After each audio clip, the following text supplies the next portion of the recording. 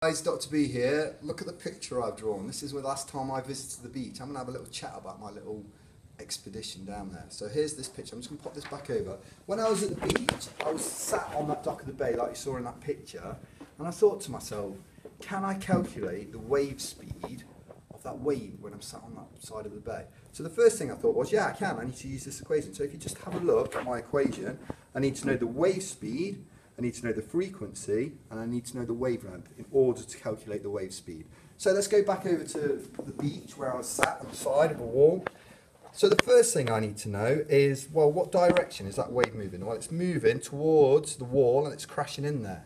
So the direction of movement is this way, but it's oscillating or vibrating at right angles or perpendicular to that direction of motion. So what type of wave do you think that is? There's two types. Which one of those two types do you think it might be? So if you think back to that equation that I showed you, one of the things I need to do is calculate the frequency. So how do I calculate frequency? Well, I calculate it by counting the number of complete waves every second. So in this case, every second, these waves hitting the wall, there were one, two, three waves crashing into the wall. So every second, three waves hit that wall. So the frequency is three hertz. Pause the video now, guys. I've got some other calculations with regards to frequency that I want you to have a go at. So pause the video and have a go at those questions. So frequency, that's measured in hertz. Also, wavelength, which is one complete wave, is measured in meters. So in this case, the wavelength was one meter. I want you to use three hertz and one meter to calculate the wave speed which is measured in meters per second. Let's go over to the equation now and have a look at other things you might need to do in your exam, and it's rearranging your equation. So uh, they might ask you in the exam to calculate frequency.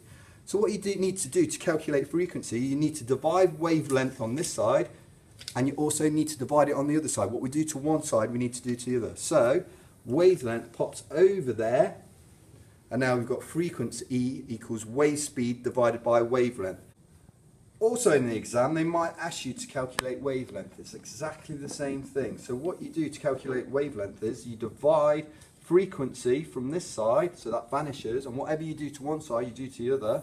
So frequency comes over here, and we've got wave speed divided by frequency, and that equals the wavelength of that wave in meters.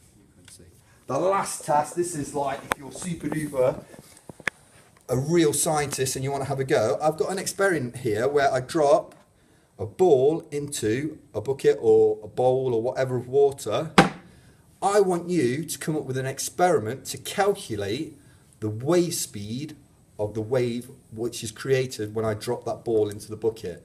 Now, if you're struggling, if you look in the description below, there's some um, hints and tips on how to do the experiment. Things you're thinking about is the method and the equipment you need. If you're super, super duper, how about you film it and you come in and show me?